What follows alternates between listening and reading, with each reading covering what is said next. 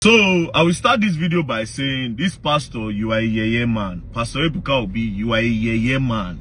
You don't have, you are a lie lie pastor. That's what I'll start by saying. For those of you that don't know this pastor, this is the pastor of Zion Outreach, one very big, massive church, right?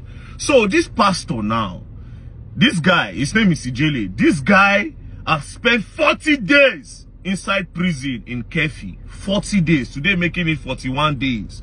Why? Because say in talk say the pastor na fake pastor. For that reason, the pastor make sure say they lock the guy up. So you are depriving the guy's children of their father. You are depriving the guy's wife of her husband because of your ego. Was somebody mashed on your ego? Eh? That is why. And Nigerians, you see the problem. This is a very big problem. A lot of innocent people, they inside Kuje prison, different prison in Nigeria, because of one big man, they vex. Because of one rich man somewhere, they vex. They'll just do, they'll go throw somebody side cell. That's what they do. And it's so sad that the police are failing, the justice system is failing.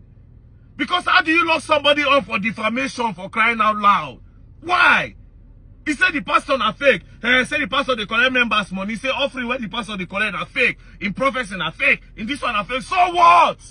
So what? So what? Now let's even leave the law. Are you not a pastor? Is this what Jesus Christ will do? Eh? Pastor Ebuka, is this what Jesus Christ will do? You people practice everything. You collect that and offering and everything, but you don't practice the one where Jesus Christ tell you. Would Jesus Christ detain somebody for calling him fake? You know how many things the Pharisees do Jesus? So the guy say he be fake pastor. Say hey, you do this or you do that one. The guy buy anybody? No. The guy do first entry? No. Is money? No. Defamation of character. Now when I go detain person. That is a civil matter for crying out loud. You're supposed to sue him. You know what Apostle Suleman do Halima? Alima talk on that in this lover post different one. Hey, hey, at the end of the day, what happened? The guy sued her because she could pay 30 million naira to him. You understand? I'm not saying Apostle Suleiman is a good man of God or all that. But see the way the case was handled.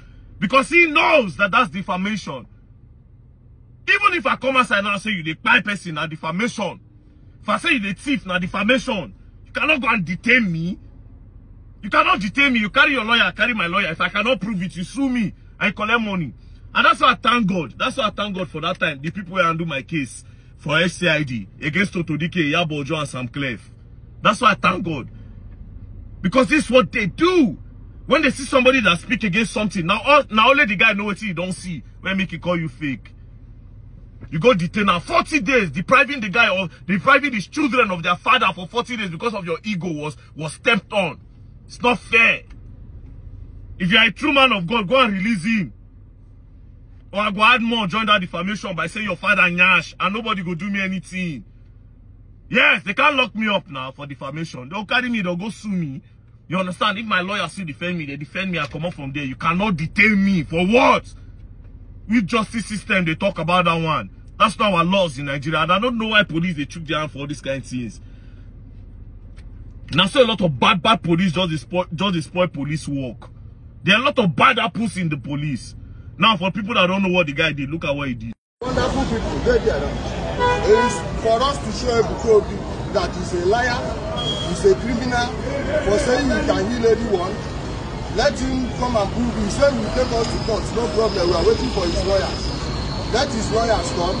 They will show Even the guy himself, he won't say too much. You just wake up, your carry person face, put for banner, start to they say the person are fake. Nigerians self, we don't too much. But then again, if you want to follow the law, this is defamation of character, bro. You can't lock him up. Not just they use you now influence for the wrong thing. It's so sad.